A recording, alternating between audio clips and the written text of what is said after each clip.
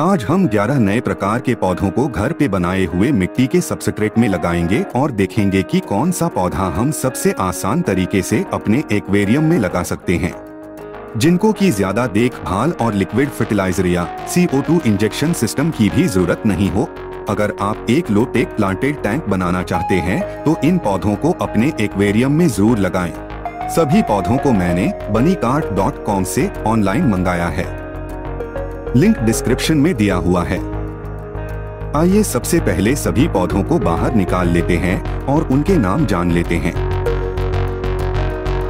Java fern.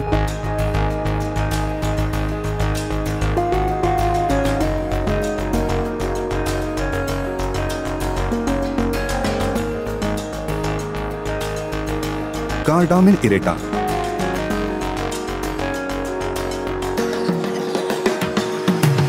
Vallisneria nana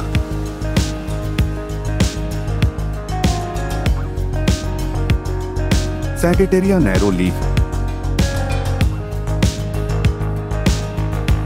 Lindernia rotundifolia Echinodorus ozelot green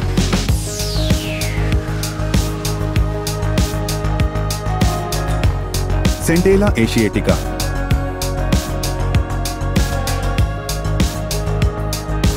Hygrophila araguaia Vallisneria asiatica Bolbitis heteroclita difformis guppy grass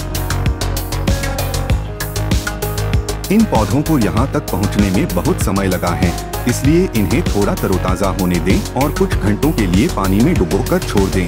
जब तक ये तरोताजा होते हैं, तब तक हम अपनी तैयारी करते हैं।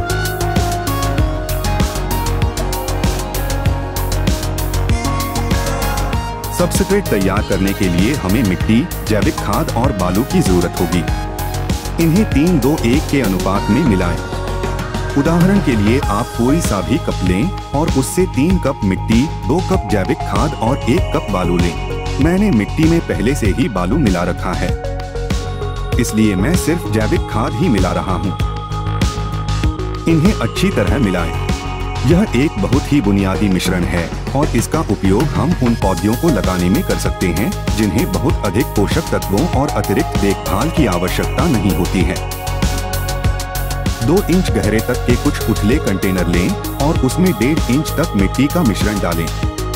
आधा इंच खाली छोड़ दें।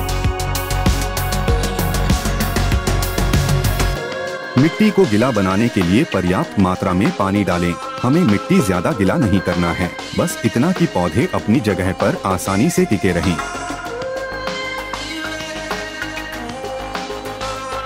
साथ ही हवा निकलने के लिए इसे कुछ मिनट के लिए छोड़ दें।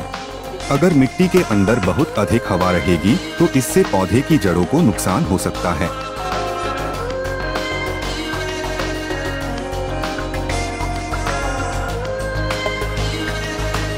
इचिनोडोरस ओजेलोट ग्रीन, इसकी बोल्ड और बड़ी पत्तियाँ ओजलेट ग्रीन को टैंक में लगाने के लिए एक बेहतरीन पौधा बनाती। यह पत्तियों पर पीले और भूरे रंग के धब्बों के साथ आया था।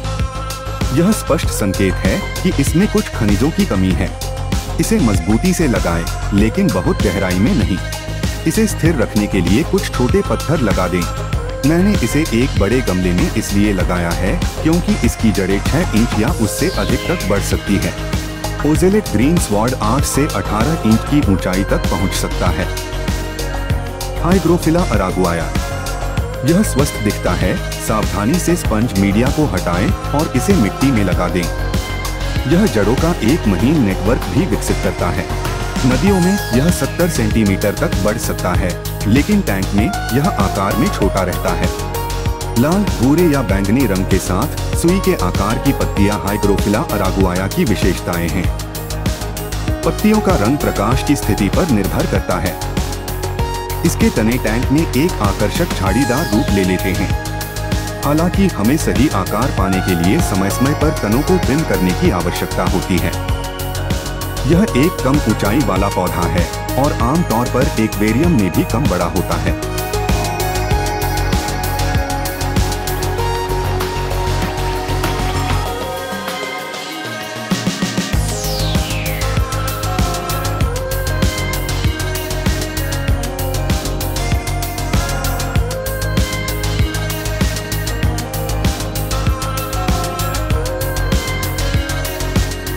आधा इंच रेत डालें और इसे टैंक में रख दें।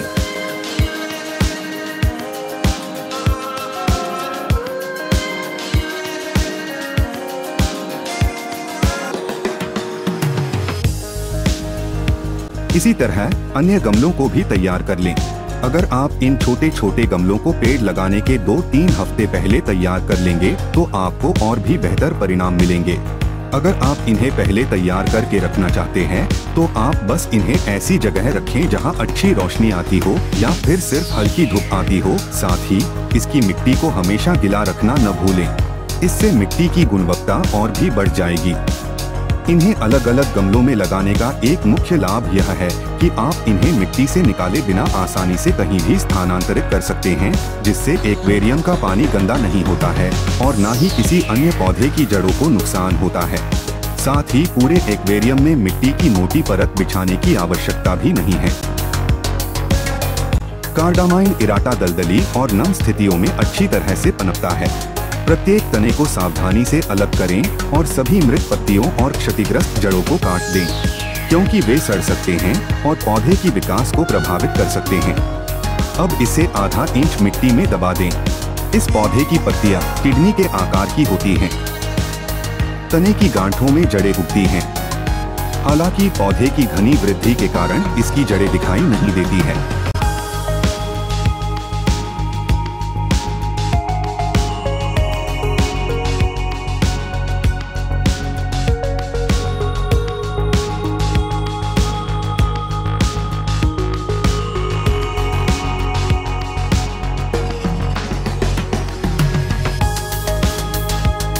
लिंडरनिया रोटुडिफोलिया यह अन्य पौधों की तुलना में एक नाजुक और धीमी गति से बढ़ने वाला पौधा है।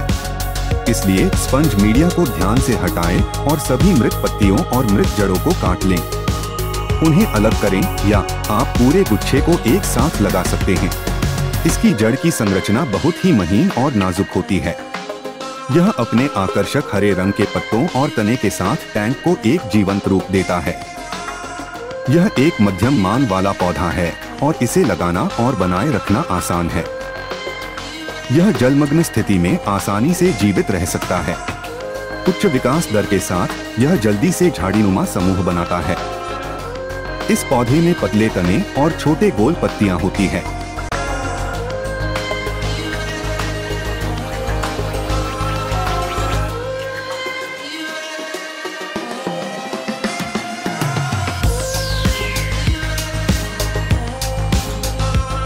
Centella asiatica.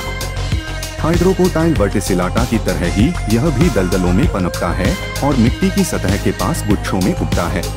आयुर्वेद जैसे चिकित्सा के विभिन्न क्षेत्रों में यह बहुत लोकप्रिय पौधा है। यह त्वचा के लिए भी अच्छा है। इसकी जड़ें पानी के अंदर रहती हैं, जबकि पत्तियाँ पानी से बाहर रहती हैं। इसे आमतौर पर जलीय पौधे के रूप में बेचा जाता है। आइए देखें कि यह पानी के अंदर कितनी अच्छी तरह से विकसित हो सकता है इसकी पत्तियाँ पंखे के आकार की होती हैं। इसकी जड़ दो इंच तक बढ़ सकती है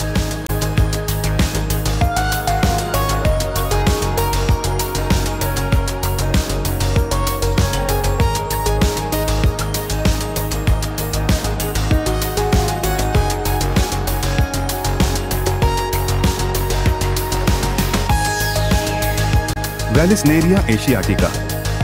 ये सबसे लोकप्रिय पौधा है, जिसे उगाना आसान है और इसलिए एक्वेरियम में सबसे ज़्यादा इस्तेमाल किया जाता है। यह समुद्री घास की तरह दिखता है और यह एक दो इंच से लेकर टैंक की ऊंचाई तक बढ़ सकता है।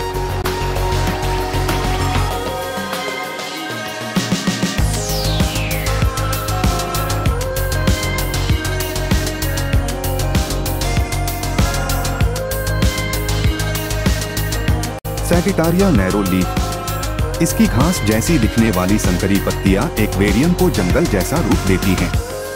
यह हरी पत्तियों वाला तेज़ी से बढ़ने वाला पौधा है। इस पौधे की सबसे अच्छी बात यह है कि इसे उगाने में बहुत ज़्यादा मेहनत नहीं करनी पड़ती। इसकी ऊंचाई 5 से 15 सेंटीमीटर से ज़्यादा नहीं होती। बेहतरीन नतीजों के लिए पौधे की नियमित छंटाई करें।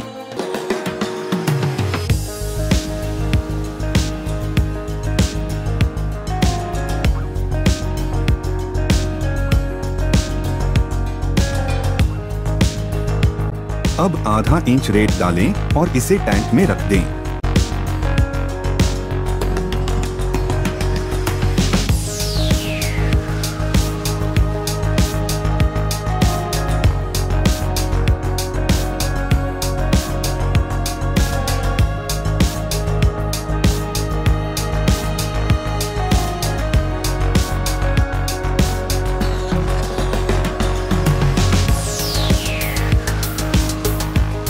वेलिस्नेरिया नाना। अपनी अन्य वेलिस्नेरिया प्रजातियों की तुलना में, वेलिस्नेरिया नाना तेज रोशनी की काफ़ी मांग करता है। अन्य वेलिस्नेरिया प्रजातियों के विपरीत, वेलिस्नेरिया नाना में गहरे हरे रंग की संकरी पत्तियाँ होती हैं, जो एक सेंटीमीटर से भी कम चौड़ी होती हैं। अपने प्राकृतिक आवास में, वेलिस्नेरिया नाना केवल 15 सेंटीमीटर बढ़ता है, जबकि एक्वेरियम में यह 70 सेंटीमीटर की ऊंचाई तक पहुँच सकता है। Guppy grass. यह लंबी, संकरी और नुकीली पत्तियों वाला एक हरा भरा घास है। आप इसे लगा सकते हैं या एक्वेरियम में तैरते हुए छोड़ सकते हैं या पौधे को वज़न से नीचे दबा सकते हैं। इसे उगाने के तरीके के आधार पर पत्तियाँ अलग अलग दिखाई दे सकती हैं। पौधा अविश्वसनीय रूप से तेज़ी से बढ़ता है और जल्दी ही टैंक के अधिकांश क्षेत्रों को अपने कब्जे में ले लेता है। जैसा कि नाम से ही पता चलता है, गप्पी ग्रास गप्पी के लिए सबसे उपयुक्त है। यह झींगा के लिए भी बहुत बढ़िया काम करता है। ऐसा इसलिए है क्योंकि इस घास में भोजन लेने और इसके अंदर छिपने के लिए ढेर सारी जगह होती है। साथ ही गप्पी ग्रास का उपयोग नियोन टेट्रा रेनबो फ़िश और पर्ल डैनियो जैसी मछलियाँ अपने अंडे देने में भी उपयोग करती है। नवजात मछली के बच्चों को एक अच्छा आवरण प्रदान करने और उन्हें सूक्ष्म भोजन का निरंतर स्रोत प्रदान करने के कारण गप्पी ग्रास टैंक के लिए एक उपयुक्त पौधा है।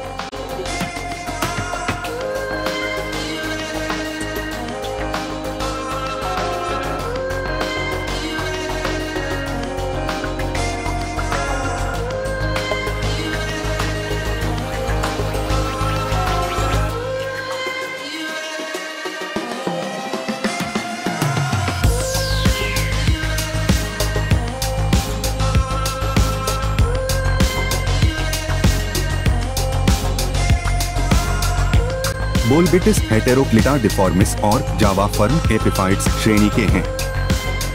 इसका मतलब है, ये पौधे ड्रिफ्टवुड या पत्थर पर पनपते हैं। इसलिए उनके राइजोम हमेशा मिट्टी के ऊपर रहने चाहिए। अगर इनके राइजोम मिट्टी के नीचे दब जाएँगे तो समय के साथ सड़ जाएँगे और पौधा मर जाएगा।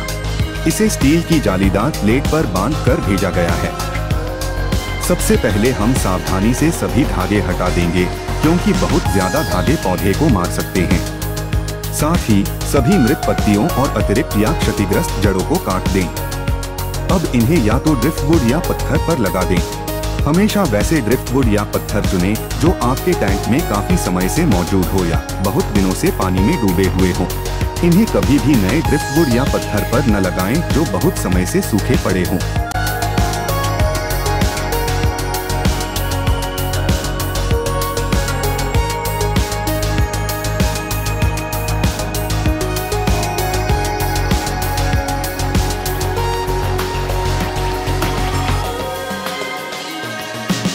लगाने के बाद हल्के से इन्हें बाँध दें। बस इतना ही कि वे अपनी जगह पर टिके रहें। पूरी प्रक्रिया के दौरान अपने पौधे की पत्तियों को सूखने न दें। पानी का छिड़काव करते रहें।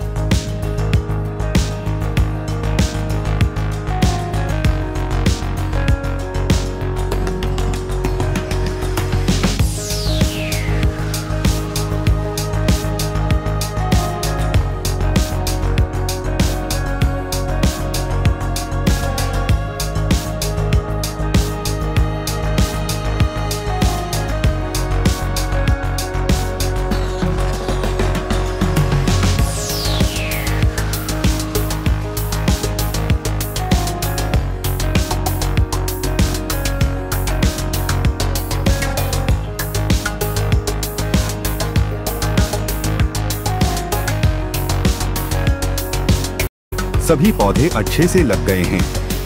पौधों के विकास के लिए इन्हें अच्छी और नियमित रूप से सात आठ घंटे लाइट प्रदान करना बहुत ही ज़रूरी है।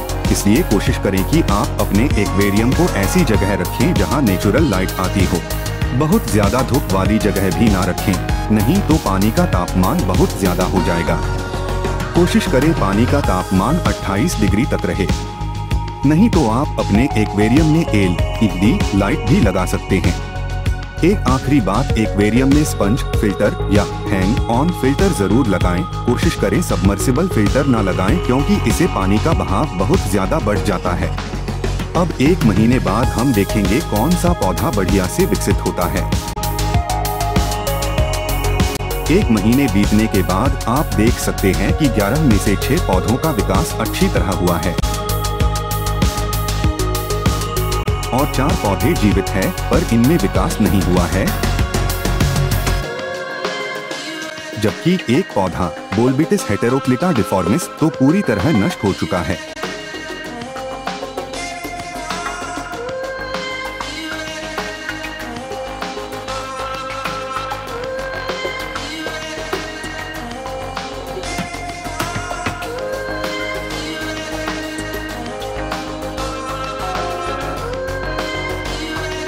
एचनोडोरस ओजलॉट ग्रीन में बहुत तेज़ी से विकास हुआ है। इसकी जड़ें भी बहुत तेज़ी से विकसित हुई है और इसके पुराने पत्तों की जगह नए पत्ते विकसित हो रहे हैं।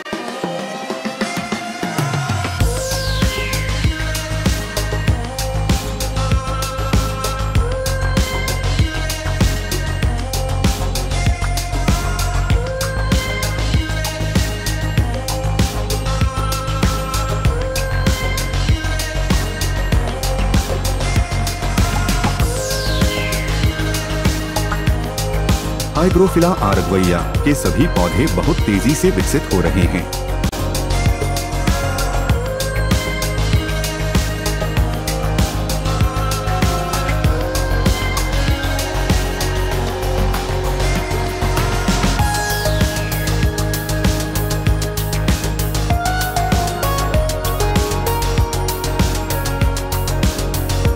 कार्डामिन इरेटा वैसा का वैसा ही है। ये मुख्य तौर पर पानी के सतह के ऊपर बढ़ता है। इसलिए अगर हम इसे पानी के सतह के नज़दीक लगाएँगे तो यह बढ़िया से विकसित होगा। मैंने इस पौधे को अपने फ़िश पोन्ड में भी लगा रखा है, और यह अच्छी तरह बढ़ रहा है। आप देख सकते हैं कि इसके पत्ते पानी की सतह के ऊपर बहुत अच्छे से बढ़ रहे हैं।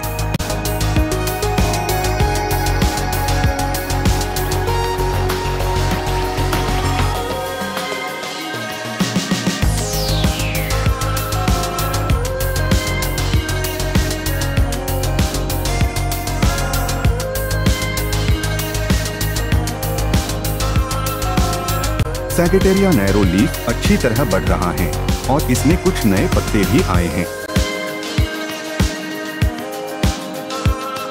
वेलिस्नेरिया एशिएटिका ये अच्छी तरह बढ़ रहा है। इसमें कुछ नए पत्ते भी आए हैं और इसकी जड़ें भी तेज़ी से बढ़ रही हैं। लिंडरनिया रोटंडीफोलिया की जड़ें तेज़ी से विकसित हुई हैं, पर पत्तियाँ ज़्यादा विकसित नहीं हुई हैं। जबकि फ़िश पोन्ड में लगाया हुआ लिंडरनिया रोटंडीफोलिया बहुत अच्छी तरह बढ़ रहा है। आप फ़र्क साफ़ देख सकते हैं, जबकि मैंने सभी पौधों को एक ही समय लगाया था। जावा फर्न के पत्ते काले पड़ रहे हैं, इसका दो कारण हैं, पानी और वातावरण में बदलाव और फास्फोरस मिनरल की कमी। हालाँकि इसमें नए पत्ते आ रहे, इसलिए इसका अपडेट मैं किसी और वीडियो में बता दूँगा।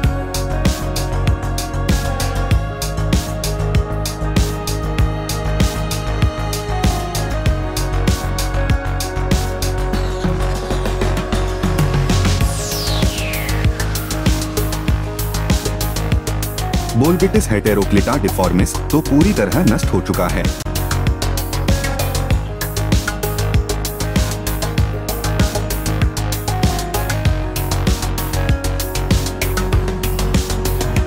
सेंटेला एशिएटिका ये भी कार्डामिन इरेटा और हाइड्रोकोटाइल वर्टिसिलाटा के तरह मुख्य तौर पर पानी के सतह के ऊपर बढ़ता है। अगर आप इन्हें पानी के अंदर लगाना चाहते हैं तो आपको CO2 injection system liquid fertiliser और एक अच्छे लाइट की आवश्यकता होगी।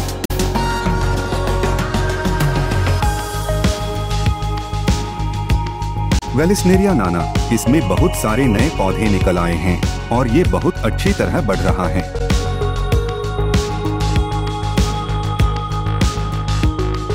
गप्पी ग्रास यह भी बहुत अच्छी तरह तेज़ी से बढ़ रहा है। अब आप जान गए होंगे कि कौन सा पौधा आपके एक्वेरियम के लिए अच्छा साबित होगा। तो कृपया इस वीडियो को एक लाइक ज़रूर करें और हमारे पिछले वीडियो पे आपके लाइक और कमेंट्स के लिए धन्यवाद। आपका दिन शुभ हो।